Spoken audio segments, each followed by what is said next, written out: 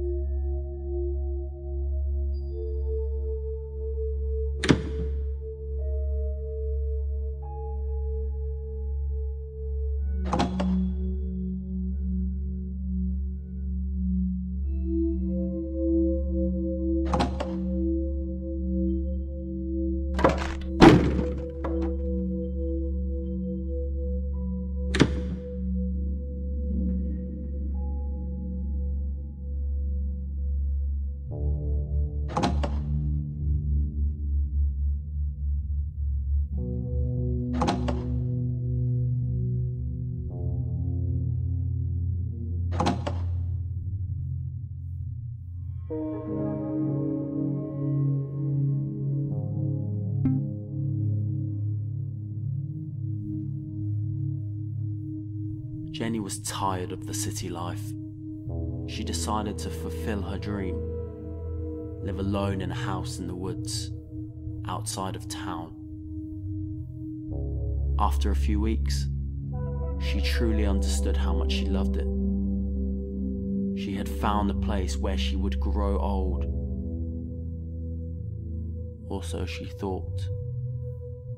One night, before going to sleep, Jenny noticed something strange outside the house.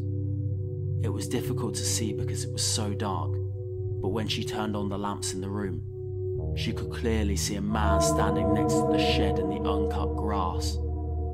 It was almost like he was observing her. Nine meters from the house. Even though he terrified her, she decided to confront him. But once she was outside, the man was gone. She naturally assumed that he'd ended up there by chance and disappeared immediately as soon as he saw that someone was in the house. A few days later, Jenny had already forgotten about the man. In the evening, Jenny heated up some milk. Drinking warm milk made her sleep better. She walked around the house and took small sips of the hot milk. She stopped at one of the windows and froze when she saw the man again. He stood about six meters from the house. This time, she could clearly see him. He was pale and skinny. His eyes reminded her of a doll's. The empty eyes looked at her, but at the same time, they didn't.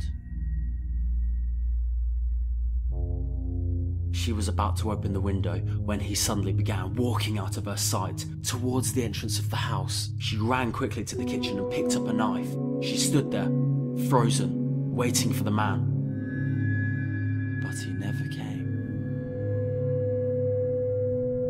A few minutes later, she went out to check if he was still there. He wasn't.